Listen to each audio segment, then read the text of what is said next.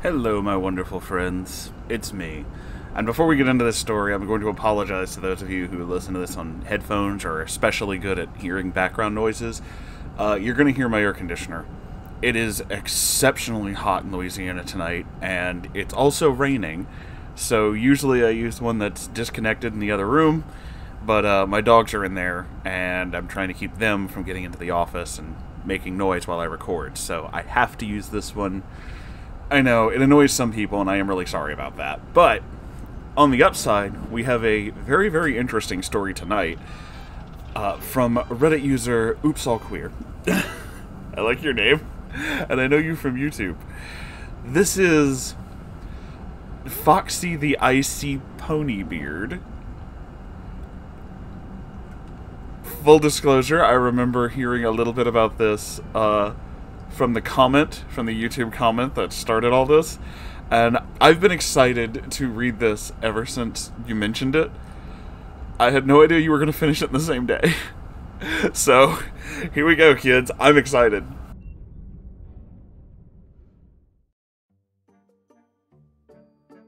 Greetings, Uncle Moonhorse. Hi. And the Moon Cult.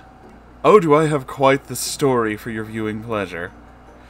Firstly, introductions. Hi, you may call me Oopsie. Hello.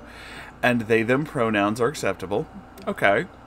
Also, sorry for formatting, I'm on mobile. Now, this story goes back quite a few years to when I was in high school, and is about someone that I actively tried to avoid, but this wouldn't be as interesting if I was successful, now would it?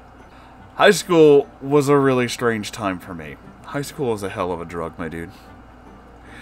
I was dealing with a bunch of stuff at the time, like trauma, depression, undiagnosed ADHD, and gender. And thus, I was just this funky amalgamation of gamer, theater kid, and metalhead, and cast a very wide net of acquaintances. Admittedly, I was a bit of a mess and had many various questionable people become monster of the week or recurring characters in the entire picture, including a literal. Oh no! Let's just say they're they're the guys who like to wear the the uniforms and do the goose stepping. Who tried to get me to join the cause? Another story, also fuck him, double fuck him. I agree. A kid I bought weed from that brought a BB gun to school, and this specimen, let's call him ICPonyBeard. You know, it's kind of funny that I can say weed on this channel without getting in trouble, but I might get in trouble for saying the word. Oh no! Ain't YouTube fun? The ICPonyBeard, or Foxy as he called himself, was definitely the Fedora type. I don't remember him smelling necessarily, and he had a simple jeans and t shirt look, but by God, if you saw him coming or had to talk to him, you immediately heard boss music. He was really obnoxious, and he was the, well, actually, sub-genius. Oh God, the actually. Foxy only tangentially is in one of my circles. I was friends with most of the members of our Computer Bowl team, aka the Competitive Coding Squad, and most of my interaction with him revolves around that. Now the facts. Foxy was an avid ICP fan. That's something that I didn't get then, and I still don't to this day. Some flavor of Jesus lover, a brony, and a furry. He had the same GF for most of high school, which isn't super important beside the skeevy shit that they got caught doing every now and then, like when they caught banging in the bathroom floor. I'm sure if he asked, he'd say it wasn't me. I do like you. He also came out as bi at one point and attempted to hit on my one friend, who was the other computer bowl gay person, and it did not go over well. Around that time, Foxy and I shared an art class where the beginning of my personal interaction with him happened. He would mostly draw his personas and tried to involve me on multiple occasions. Oh god, the personas. He tried to encourage me to make a sona after I humored him. I mixed a paint that was purple and chunky and spattered my feral heart upon the canvas and revealed to him my persona, the McDonald's grimace.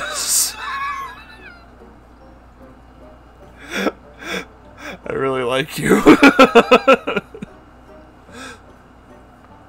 he was also trying to get into black metal, specifically asked what non satanic bands I listened to. Bruh, how do you even? Me being the asshole I was, I listed off the most grotesque and vile bands I could think of. He stayed away from me after our interactions, became mostly hi bye at that point. well played. Now the good stuff. His furry and brony interests got much worse junior and senior year. He was a teacher's aide during my intro to coding class in junior year and infrequently would bring up the assignments on the projector when our teacher had some business to attend to.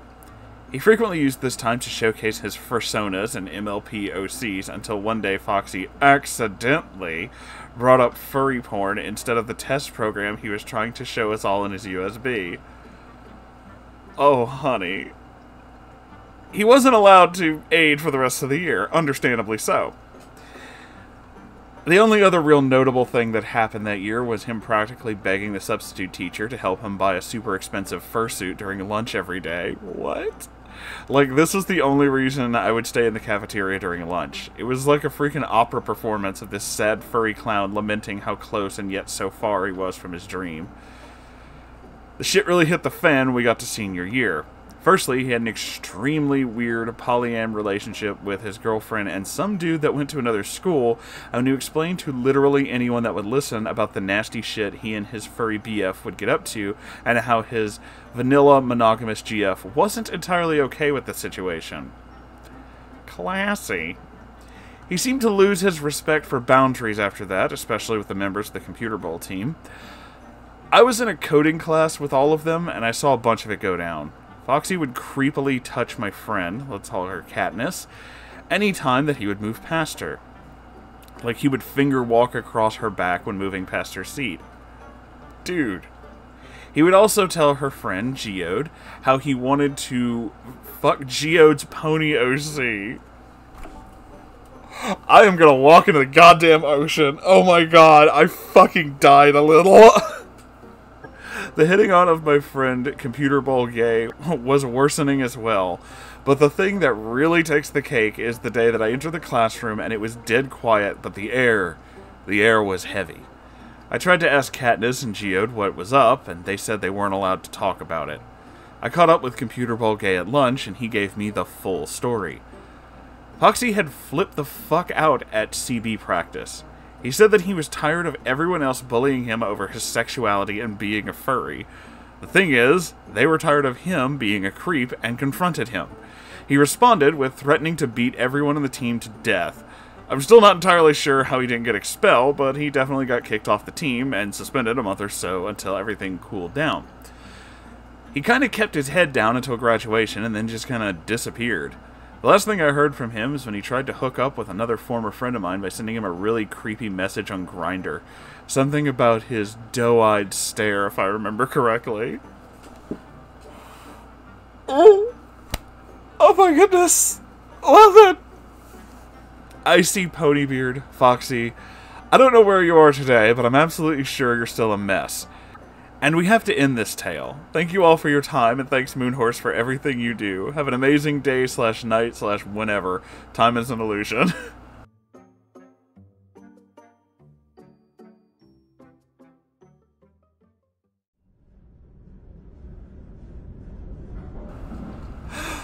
oh.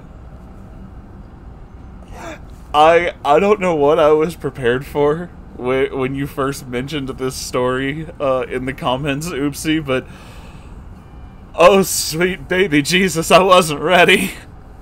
But I'm so fucking happy that you did this.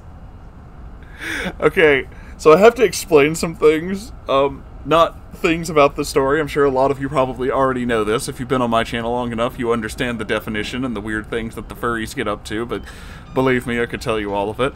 But I have to explain to you why these stories bring me such life. Why I am so happy when all of this kind of stuff goes down, when you guys send me stories like this. So, people around my age, a little younger, a little bit older, you know, in our 30s, are starting to get to the point where we have those nostalgic moments. I mean, for God's sake, there's enough nostalgic media on YouTube that you can understand this. They literally make movies out of it. I'm pretty sure that's entirely what Ready Player One was about. It's hard to understand the movie was weird and I didn't finish the book because it was boring. But nostalgic media is a huge thing. However, there are certain parts of my past that cannot be captured by watching reruns of Gundam Wing and Ed, Edd n Eddy, though ostensibly that does help. It's the cringe.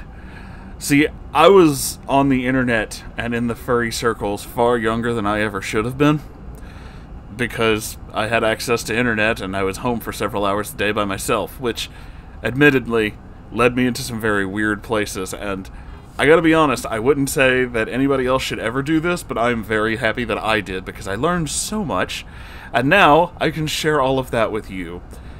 My exposure to the horrible was basically just training for my future job.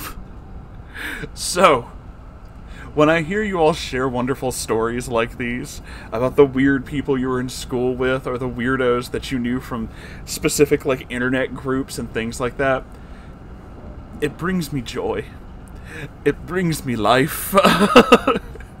you know, some of you, I know a lot of you actually who talked on some of these things, uh, play a lot of like D and D and stuff like that. So you know how, uh, like as a necromancer, you can do that thing where if you're surrounded by like the dead, or like any place like that, it can recharge your mana. You basically kind of recharge your batteries. This is that for me. This is recharging my mana. I bask in the cringe and watch the nonsense from the yesteryears wash over. Like, oh dear god, really? The pony thing was a phenomenon. Like, some of you may have been too young to realize that. Some of you may not have ever been around that kind of thing, but it was a thing. And it's not surprising that it happened. And the overlap of bronies and furries and neckbeards is massive. There's just a huge collection of all of that together. Oh my goodness. And this guy, this particular Foxy, um, I don't know if you're aware of this, oopsie, but let me let me let you guys in on a little a little well-known secret. Uh, this is one of those things that like everybody who's ever been in the uh, the furry community will tell you. Like, this is just a thing. Uh, it's kind of the same thing as when I explained uh, the bears. This is something all furries know about, and nobody else outside of it knows about it. Um, so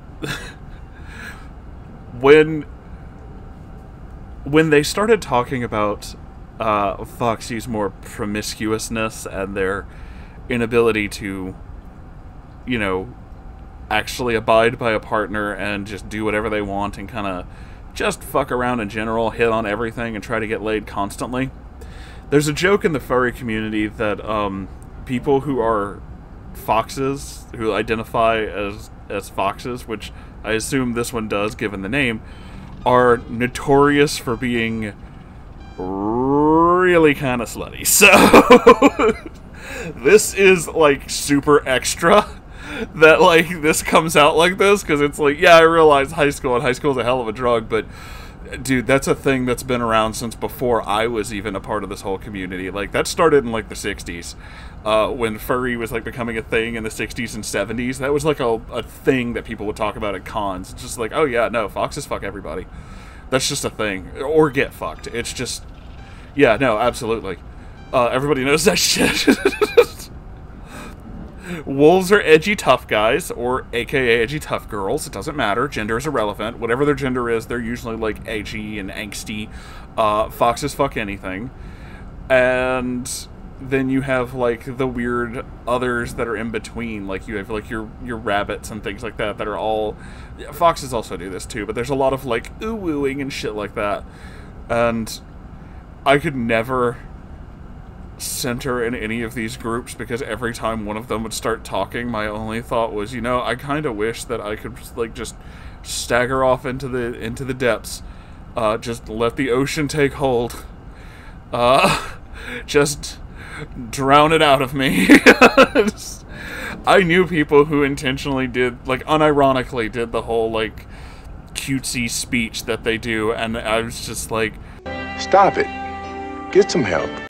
It's, oh god, looking back on it, it's even worse. But I do have to say, uh, my other favorite part of this, uh, there's a lot of favorite parts of this story, let's be honest. I have several. Um, I could go on and on about this because your writing style is fantastic and this is really, really funny. I I like that your your first persona is the grimace. That sounds like something I would do. oh man. And I I just love the the idea of I want to get into black metal, but I don't want to listen to satanic bands. That's not how it works. That's not how any of this works. Oh my goodness. I hope you all enjoyed this as much as I did because I I was ecstatic about this. I needed this because the rest of my night's going to be spent recording some other really weird things that are probably going to make me angry, but this made me very very happy. So thank you so much again, Oopsie, for sending in this story, and thank you all for being here. If you enjoyed this and would like to send me your own strange story to recharge your favorite Uncle Moonhorse so you can keep doing the weird shit like this, it's it's a subreddit r slash Moonhorse stories. That's that's my secret mana pool. It's not really a secret because I advertise it in every you know video, but whatever. Make sure you like, comment, subscribe, all that good stuff, and share videos out. I'm pretty sure YouTube's not doing that because they hate me, and um, fuck them. Uh, I have a Ko-Fi, which now has another incredibly stupid Ko-Fi goal on it. If you'd like to just witness that and help me achieve the dumbest possible things I can do, that's an option. I also have a merch store. There's a new shirt in the merch store right now, which uh, some of you are going to be very happy to see. It, it'll bring you joy. I still have to work on some other stuff, but keep an eye out on that. And there's a live stream every Saturday. You can be a part of that. And there's also a Discord server. The links to all that and more are in every video description, including this one. I don't know where I was phrasing that like, but there it is. Check it out. It's a drop down thingy under the video. All the stuff's there. Okay. I'm gonna go now. I love you all. Goodbye.